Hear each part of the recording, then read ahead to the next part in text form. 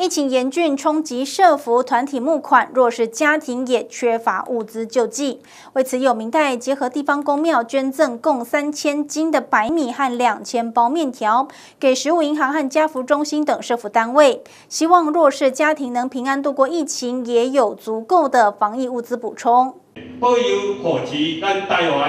众人一起上香祈福，祈求疫情早日消退。疫情冲击，社福团体募款，弱势家庭也缺乏物资救济。有明代结合地方公庙捐赠白米和面条给十五个社福单位。我们还有很多单位的啊原住民啊这个食物银行以及家福中心啊以及各里区的啊这个慈善团体，大家共同来啊共襄盛举。啊，能够把关帝的慈爱啊，这个平安呢带给大家。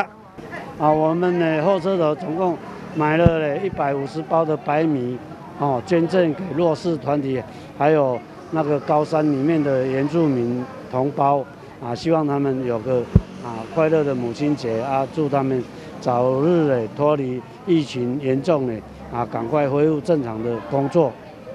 这一次将发放三千斤白米和两千包面条给中部地区各政府单位，再转送到弱势户手中，希望帮助弱势户平安度过疫情，有足够的防疫物资。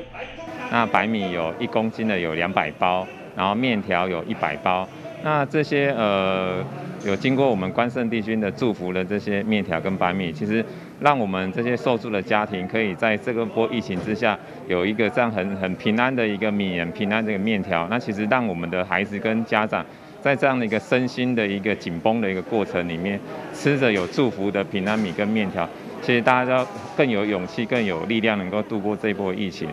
明代现场发放康乃馨，感谢母亲守护孩童健康，也希望弱势户能感受社会温暖，大家一起挺过疫情。记者张伟林台中采访报道。